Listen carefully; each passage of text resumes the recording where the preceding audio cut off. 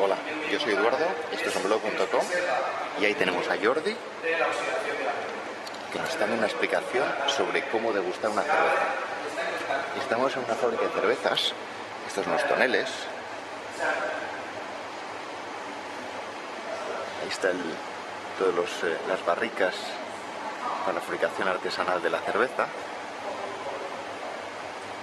Y como parte del viaje que estamos haciendo al Montseny, estamos en un en una degustación de cervezas. ¿eh? Atentos. Y Jordi nos está explicando ahora cómo se hace, ¿a que sí? Do- pues decía que el tema de, de la conservación del contenido. Ahora en una cata como esta que probaremos. mm, Esto bueno, que no os lo voy a poner todo porque nos lo está explicando a nosotros, vamos a degustarlo. Estamos en Montseny de recorrido. Ya sabéis que estos días estamos haciendo un recorrido por toda la zona del Montseny y, nos- y hoy nos han traído aquí a la, a la fábrica de cerveza artesana de Montseny.